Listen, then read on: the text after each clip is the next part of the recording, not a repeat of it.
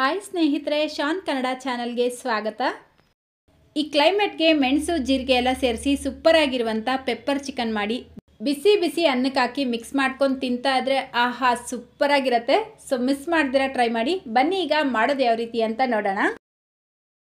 ಮೊದಲು ನಾನಿಲ್ಲಿ ಒಂದು ಕೆ ಜಿ ಚಿಕನ್ ತಗೊಂಡು ಕ್ಲೀನಾಗಿ ತೊಳೆದಿಟ್ಕೊಂಡಿದ್ದೀನಿ.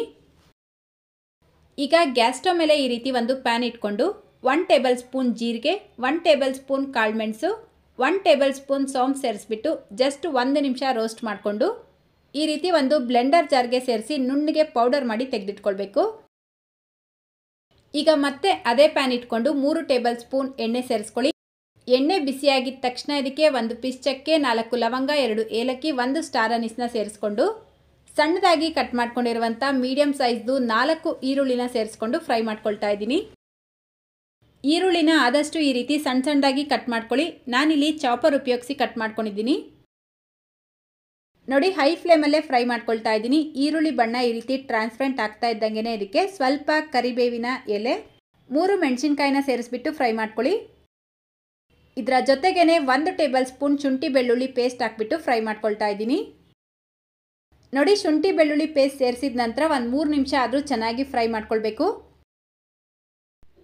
ಈಗ ಇದಕ್ಕೆ ತೊಳೆದಿಟ್ಕೊಂಡಿರುವಂಥ ಚಿಕನ್ ಪೀಸಸ್ನ ಸೇರಿಸ್ಬಿಟ್ಟು ಅರ್ಧ ಟೀ ಸ್ಪೂನ್ ಅರಿಶಿನ, ರುಚಿಗೆ ತಕ್ಕಷ್ಟು ಉಪ್ಪು ಹಾಕ್ಬಿಟ್ಟು ಹೈ ಫ್ಲೇಮಲ್ಲೇ ಒಂದು ಮೂರು ನಾಲ್ಕು ನಿಮಿಷ ಚೆನ್ನಾಗಿ ಮಿಕ್ಸ್ ಮಾಡ್ಕೊಳ್ತಾ ಫ್ರೈ ಮಾಡ್ಕೊಳ್ಬೇಕು.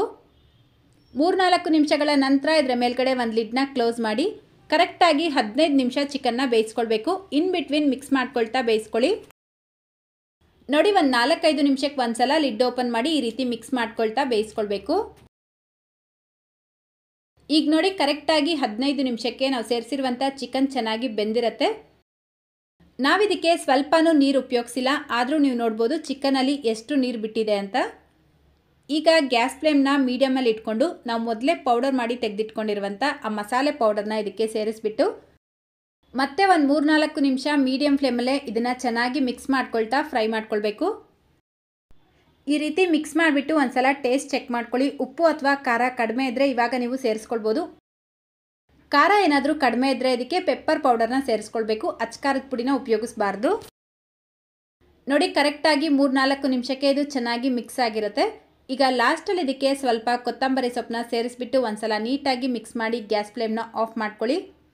ತುಂಬಾ ರುಚಿಯಾಗಿರುವಂಥ ಪೆಪ್ಪರ್ ಚಿಕನ್ ರೆಡಿಯಾಗುತ್ತೆ ಲಾಸ್ಟಲ್ಲಿ ನೀವು ಬೇಕಿದ್ರೆ ಒಂದು ಅರ್ಧ ಟೀ ಸ್ಪೂನ್ ನಿಂಬೆಹಣ್ಣಿನ ರಸ ಸೇರಿಸ್ಬಿಟ್ಟು ಮಿಕ್ಸ್ ಮಾಡ್ಕೊಳ್ಬೋದು. ಈ ಪೆಪ್ಪರ್ ಚಿಕನ್ ಬರೀ ವೈಟ್ ರೈಸ್ ಜೊತೆಗೆ ಅಲ್ಲ, ಚಪಾತಿ, ರಾಗಿ ಮುದ್ದೆ ಗೀ ರೈಸ್ ಜೊತೆಗೂ ಎಕ್ಸಲೆಂಟ್ ಆಗಿರುತ್ತೆ. ಅದರಲ್ಲೂ ಈ ಕ್ಲೈಮೇಟ್ಗಂತೂ ಸೂಪರ್ ಆಗಿರುತ್ತೆ. ಸೊ ಇವತ್ತಿನ ಈ ವಿಡಿಯೋ ನಿಮ್ಗೆ ಇಷ್ಟ ಆಗಿದ್ರೆ ಪ್ಲೀಸ್ ಈ ವಿಡಿಯೋಗೊಂದು ಲೈಕ್ ಮಾಡಿ. ನಿಮ್ಮ ಫ್ರೆಂಡ್ಸ್ ಮತ್ತು ಫ್ಯಾಮಿಲಿಯವ್ರ ಜೊತೆಗೂ ಈ ವಿಡಿಯೋನ ಶೇರ್ ಮಾಡ್ಕೊಳ್ಳಿ ಅಂತ ಹೇಳ್ತಾ ಇದೇ ರೀತಿ ಮತ್ತೊಂದು ರೆಸಿಪಿಯೊಂದಿಗೆ ಸಿಗೋಣ. Thank you